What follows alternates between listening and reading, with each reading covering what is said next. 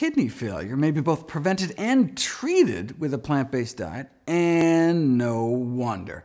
Kidneys are highly vascular organs. Harvard researchers found three significant dietary risk factors for declining kidney function— animal protein, animal fat, and cholesterol.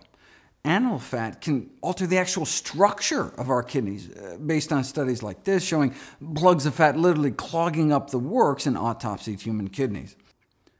And the animal protein can have a profound effect on normal kidney function, inducing what's called hyperfiltration, increasing the workload of the kidney, but not plant protein. Eat a meal of tuna fish, and you can see the increased pressure on the kidneys go up within one, two, three hours after the meal in both non-diabetics and diabetics. Uh, so we're not talking you know, adverse effects decades down the road, but literally within hours of it going into our mouth. Now, if instead of having a tuna salad sandwich, though, you had a tofu salad sandwich with the exact same amount of protein, what happens? No effect. Uh, dealing with plant protein is no problem. Why does animal protein cause the overload reaction, but not plant protein? It appears to be due to the inflammation triggered by the consumption of animal products.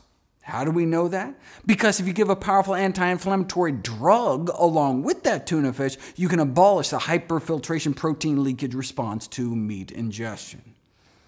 Then there's the acid load.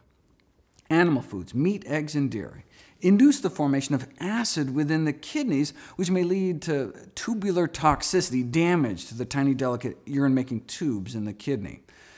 Animal foods tend to be acid-forming, especially fish, which is the worst, and pork and poultry, whereas plant foods tend to be relatively neutral or actually alkaline, uh, base forming to counteract the acid. So the key to halting the progression of chronic kidney disease might be in the produce market rather than the pharmacy.